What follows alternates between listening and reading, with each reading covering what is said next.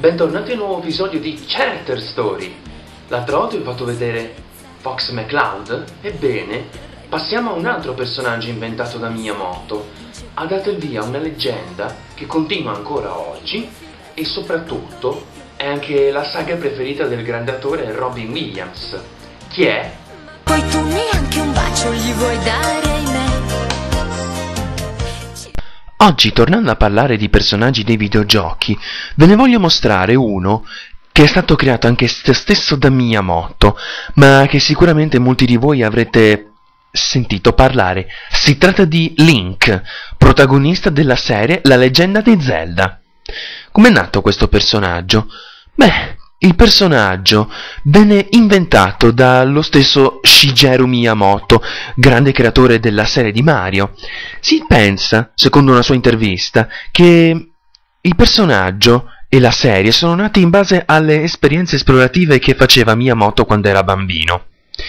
In pratica, eh, visto che lui si avventurava dentro caverne e anche addirittura foreste che si trovavano nell'area di Kyoto, ebbene, questo è stato il suo spunto per creare eh, il suo grande gioco Zelda, uscito nel 1987. Ma se non lo sapete, i nomi di Zelda e Link non sono nati così per caso. Il nome di Zelda è stato preso dalla figlia di Francis Scott Fitzgerald, in pratica Zelda Sayre Fitzgerald, che in pratica era uno scrittore sceneggiatore statunitense per romanzi.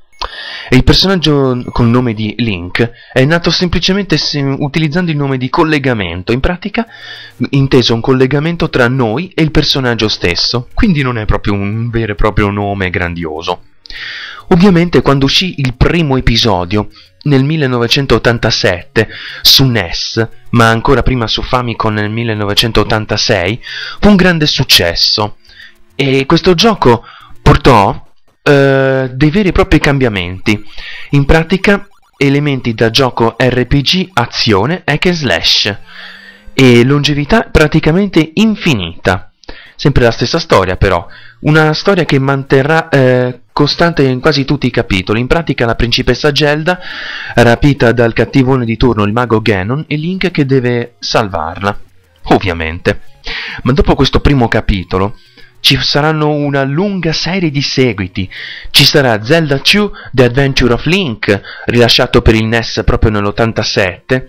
Questo gioco venne purtroppo snobbato perché ha abbandonato quasi del tutto la sezione esplorativa vista dall'alto, come nel primo Zelda, ma in realtà eh, sembra quasi un gioco stile Final Fantasy, ma del resto questo è considerato da molti fan come un episodio sottovalutato che bisogna rivalutare.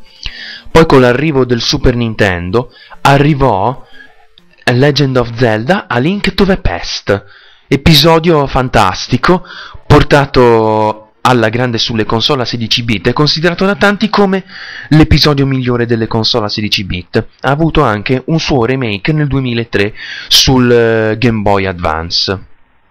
Poi c'è stato anche per Game Boy Legend of Zelda Link's Awakening, episodio che è stato eh, portato certo sul primo Game Boy tradizionale nel 93 e riportato come remake nel 98 sul Game Boy Color come Legend of Zelda Link's Awakening DX, che a differenza del primo metteva una storia un pochino diversa e l'aggiunta dei colori. Questa modalità di gioco è proprio come l'episodio per Super Nintendo, solo che l'hanno un pochettino strozzato. Poi con l'arrivo del Nintendo 64 ci fu uno degli episodi più belli mai realizzati, Legend of Zelda Ocarina of Time, è considerato dall'Accademia di Arti e Scienze della Gran Bretagna come l'episodio più bello mai rilasciato. E questo gioco aveva l'ambientazione certamente 3D, questo era più uno spin-off ambientato prima del primo Zelda e soprattutto storia ancora più bella, quest ancora più difficili da risolvere e divertimento sicuramente assicurato.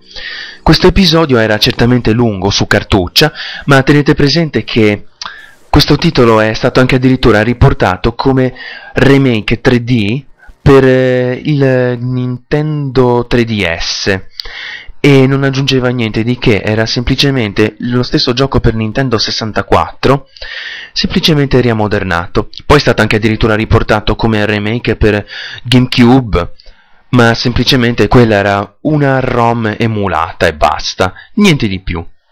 Poi ci fu anche per Nintendo 64 il secondo grandioso episodio per eh, Nintendo 64, Majora's Mask, l'episodio più oscuro della serie, che questo ha quasi raggiunto lo stesso livello di perfezione di Ocarina of Time, solo che questo titolo fu uno di quelli che necessitava dell'expansion pack, faceva vedere più personaggi su schermo e la grafica era certamente migliore.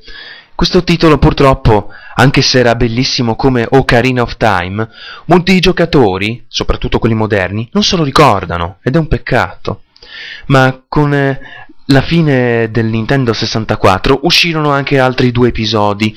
Semplicemente per Game Boy Color ci furono Oracle of Ages, che questo è un capitolo a parte che era simile all'episodio per Game Boy Advance, soltanto che aggiungeva qualcosa di più, ma ci fu anche addirittura una sua controparte Oracle of Seasons, che è uscito nello stesso identico periodo e bisogna tenere presente che questo T, anche questo Oracle of Seasons non è che aggiungeva qualcosa di nuovo rispetto a quello precedente, aggiungeva semmai una grafica migliore e anche qualche elemento diverso nel gameplay, ma sono più o meno lo stesso identico gioco. Poi su Game Boy Advance c'è stato Force Wars, episodio che venne realizzato non soltanto da Nintendo ma anche dalla Capcom. Questo gioco riprende molti gli elementi di A Link to the Past, solo che è stato fatto un omaggio al primo episodio della serie e poteva anche addirittura supportare il multiplayer. Poi c'è stato anche Wind Waker, un episodio rilasciato sul GameCube nel 2002 e fu un episodio particolare perché Aggiunge, aggiungeva 49 mondi da esplorare e soprattutto tutto realizzato in cel shading per farci sembrare tutto quello che vediamo un cartone animato. Questo è stato un episodio che seguiva gli eventi dopo Ocarina of Time ed era fantastico. All'epoca fu un po' troppo snobbato dal pubblico, ma adesso è stato ampiamente rivalutato dalla critica e dal pubblico stesso. E infatti questo gioco Vale la pena provare, ma se non lo sapete, stanno per fare un remake eh, per la Wii U semplicemente in HD che aggiunge una grafica migliore, qualche elemento nuovo nel gameplay, ma nel resto è sempre lo stesso gioco. Poi su GameCube uscirà The Force Wars Adventure, che anche questo è un altro episodio della serie di Zelda, realizzato in simil cel shading, ovviamente, e anche questo fu purtroppo un episodio che eh, venne snobbato aveva due modalità di gioco, quello singolo e giocatore. Quella singolo era molto simile a quello di Wind Waker, quello multigiocatore invece si giocava in una sorta di arena multiplayer, un po' quasi come in Unreal Tournament. Questo era un gioco molto fantastico e purtroppo oggi è considerato il più snobbato di tutti. Poi con l'arrivo del Game Boy Advance, anche se era già arrivato prima, è uscito un altro capitolo, Zelda The Minish Cap.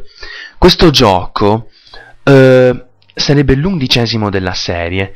Ovviamente portava qualche elemento nuovo nel, nella giocabilità.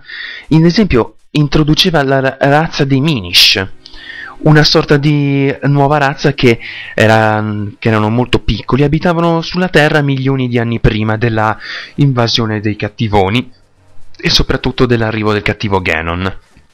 Questo episodio è molto bello.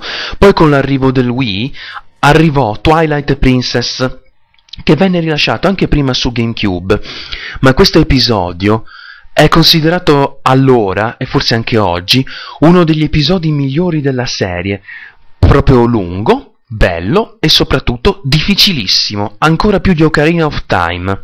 E soprattutto eh, è stato anche addirittura premiato dalla rivista ufficiale Nintendo col voto 10-10, anche addirittura la Nintendo Power l'ha classificata al quarto posto come il gioco più bello della serie di Zelda. Poi uscì anche addirittura per Nintendo DS Phantom Hourglass, che è un episodio un po' particolare che aveva un misto tra la grafica 3D e il cel shading. Satoru Iwata l'ha eh, dichiarato come un gioco decente ma niente di spettacolare ed è ambientato proprio dopo Wind Waker. Questo gioco era molto più esplorativo e molto più divertente sicuramente di Wind Waker. Poi c'è stato anche sempre per DS Spirit Tracks, un episodio un po' particolare in cui il nostro protagonista eh, si muove all'interno del mondo di Ryul con un treno che sostituisce la barca che utilizzavamo nell'episodio precedente. Questa era un'idea un po' simpatica originale e questo gioco venne premiato anche addirittura con un 91%. Anch'esso questo gioco è stato realizzato in cel shading. Poi è uscito per Nintendo Wii Legend of Zelda Skyward Sword, episodio che è considerato migliore di qualunque episodio rilasciato su Nintendo Wii. Ad esempio, questo riprendeva un pochettino gli elementi di Twilight Princess, è vero, è uscito certamente in occasione dei 25 anni della serie e aveva un sistema di controllo del Nintendo Wii certamente migliorato, la storia era epica, il divertimento qua era fantastico e soprattutto per chi è che si avvicinava per la prima volta alla serie, questo gioco era ottimo per cercare di conoscere più a fondo la serie. Con questo purtroppo è finita l'avventura di Zelda mh, mm, per quanto riguarda una serie ufficiale, ma non dovete preoccuparvi perché sta per arrivare un nuovo episodio che sarà sviluppato per Nintendo 3D. Poi considerando gli spin-off, sono usciti dei titoli che sono purtroppo indecenti, sono usciti Freshly Picked Tingles Rosy Rapland, una sorta di giochino un po' particolare, brutto, che potrebbe non piacere o piacere a tutti voi. Qua soltanto che Link non è il protagonista. Poi è uscito Link's Crossbow Training, che è una sorta di gioco sportivo venduto insieme al Wii Zapper, cioè una pistola in pratica. Questo era un gioco adatto a tutta la famiglia.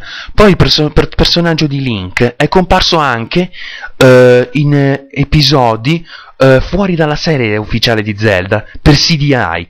Erano giochi che avevano sì la licenza ufficiale Nintendo, ma nessuno li considera. Sono i bruttissimi Link Faces of Evil, Zelda Wand of Gamelon e Zelda's Adventure.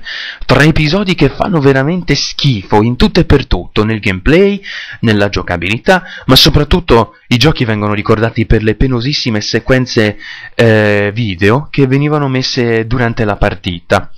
Penose. Poi il personaggio comparirà anche addirittura come cameo in giochi come Soul Calibur 2, soltanto nel GameCube, o in Super Smash Bros. per Nintendo 64, o anche in Super Smash Bros. Melee e anche in Super Smash Bros. Brawl. Insomma, il personaggio ha avuto un'avventura videoludica fantastica. Se dobbiamo vedere il mercato promozionale che hanno mosso intorno alla serie di Zelda, ebbene, eh, non è che hanno rilasciato poco. Nel corso degli anni sono stati rilasciati dei manga dedicati alla serie di Zelda.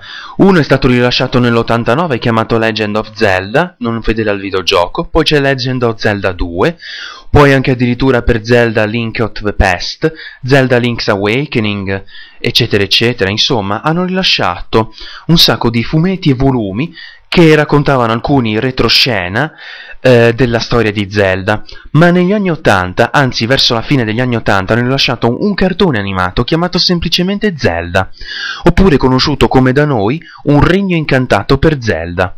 Una serie che era composta da una sessantina di episodi, in cui c'è Ganon che vuole impossessarsi della Triforza della Saggezza, posseduta da Zelda, e in pratica Link ovviamente deve certamente ritrovare la Triforza del Potere già in possesso di Ganon e certamente salvare il mondo. Storia, un, un, questo cartone era carino ma niente di speciale.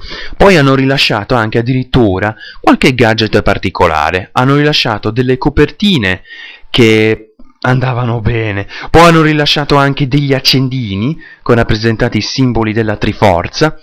Poi hanno rilasciato anche addirittura qualche pupazzo, ma sono abbastanza rari, e poi anche qualche maglione, felpa. Insomma, Zelda hanno puntato più sul cartone animato e sul manga, non sui veri e propri gadget.